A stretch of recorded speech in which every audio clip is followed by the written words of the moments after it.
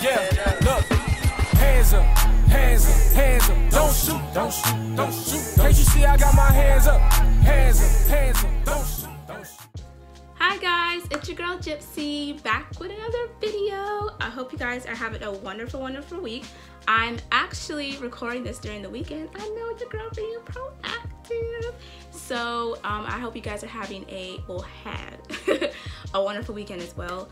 Also disclaimer, please ignore hammering sounds. Uh, apparently there's some like project my dad's doing and I need to record. So I'm really, really sorry and I'll try to talk over it as loudly as possible without sounding like annoying basically. so I hope you guys have a wonderful time. But let's get to this video. So as you can see, like I said, in my title, I'm a fraud. Like I lied to y'all. I said I would never, ever, ever, forever, ever, forever, ever, ever, forever, ever, ever read a book that would make me scared. You know, I don't do a thriller. I don't do horror. I, mm, I don't do any of it. I'm a big brave dog. Make that two pudding pops. I'm a big brave dog. I'm a big brave dog. and I definitely blame myself because I definitely read a book like that. So what happened was, it's one of my um, monthly picks. Um, I think it was last month. Let's go with July. Um, which was my book says lipsticks. Yeah, lipsticks. Um, excuse me. Um, I had a book on there and it was grabbed my attention one by the cover because let me tell you something these covers they have been coming for our necks like they've been looking good but i love the synopsis and i wanted to make it definitely known for my just like a personal thing um, I always like to learn about other cultures and to be, you know, educated, not just in the region I'm living in. And so it's a great story. It's not just where you live. It can be anywhere. And so that's what I always want to make sure that I, you know, read books from different authors of different nationalities, different backgrounds. So the book I'm going to review today is Mexican Gothic by Silvia Moreno-Garcia. And as you can tell in the in the title, it lists in the title it lists Astonishing. just hit myself. Um, it literally says Gothic, and you're like, Jaira, how did you not get like it would probably be a little like not normal? And it's like that's not the point. The point is is that I wasn't thinking basically, and so I don't have any explanation except I have nothing, and I played myself. So, but let's get into the book. So the setting is in Mexico. It follows some certain characters. So like the main three, I'll say. Number one is Noemi Taboada. She is part of the Taboada family, very affluent, um, lives in like the heart of the town and everything, and we live in Mexico City. I believe they live in the capital. And you have her cousin Catalina, who married to the Doyle family. And it was basically for money because the Doyle family was pretty much almost dried up with funds basically. So they just wanted to marry into uh, an affluent family. And she catalina went through a lot of childhood trauma like death and death and rejection and death. And it was it's just a lot.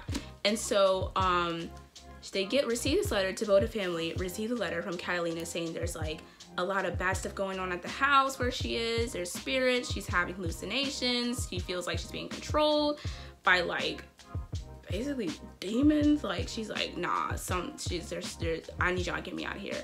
And so Noemi's father is like, well, you have to go. And she's like, okay, yeah, but like I'm also in university. So Noemi's kind of, you know, different because she's not following what, you know, her culture does. Basically like, you know, get married at like five and have like, you know, 10,000 children. And she's like, no, I'm to have my own life. I'm to learn. I'm going to, you know, do research. I want to become, I want to be an inspirational woman for myself. And you better go girl because I'll do the exact same thing.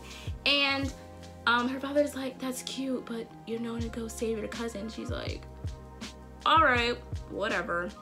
So she leaves to basically go on save Kylie mission or whatever.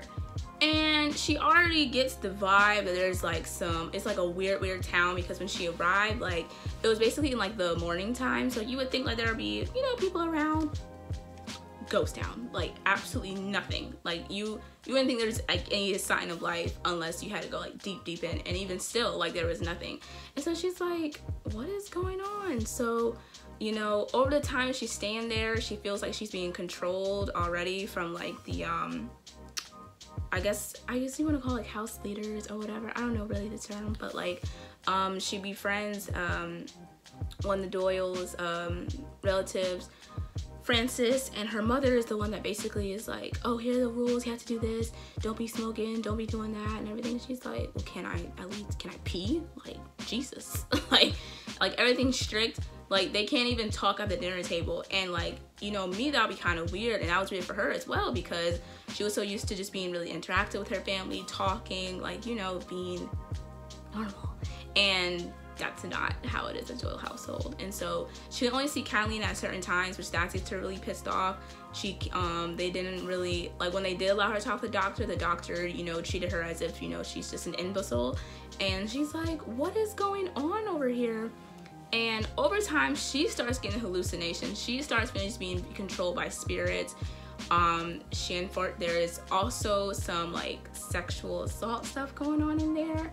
Um, so if you're triggered by that, I would kind of probably refrain from reading it. It's not, I won't say it's not graphic. It's nothing like to a, what's to say?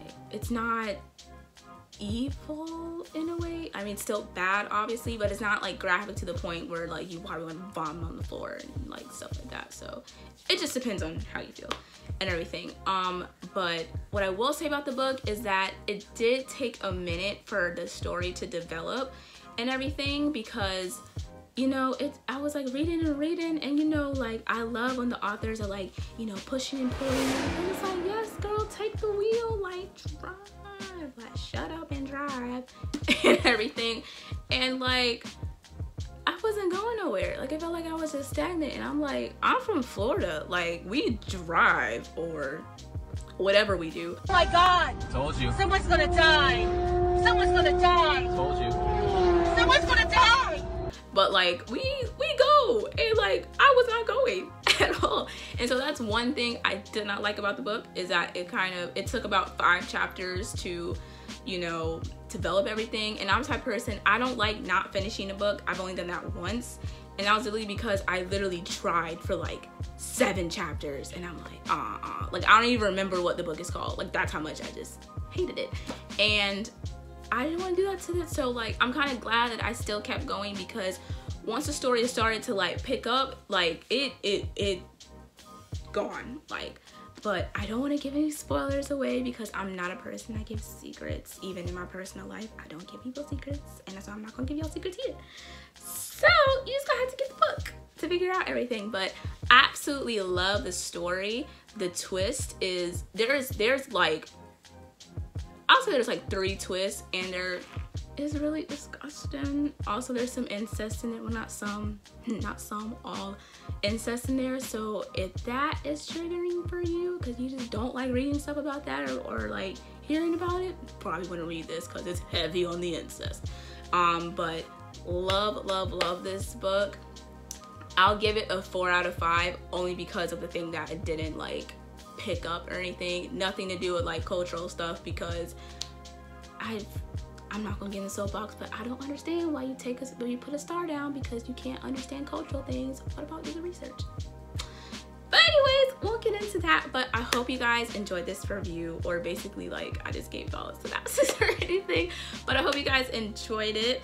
Um, you can get Mexican Gothic, you know, through Bookshop, and you can put in your zip code and support these local bookstores. They have we have raised so so so many much so much money, and we're just gonna keep going. And so please get this book. It's a wonderful, wonderful read if you like thriller stuff and if you like having your mind warped and feeling like you're not in space without drugs, then yeah, do this don't do drugs, kids. Um, but yeah, I hope you guys enjoy it. I hope you guys enjoyed this review. And please leave a comment below if you enjoyed it, like the video. And if you haven't subscribed to Jypsy, what, what are you doing? Like, come on. But I hope you guys have a wonderful day and love you guys.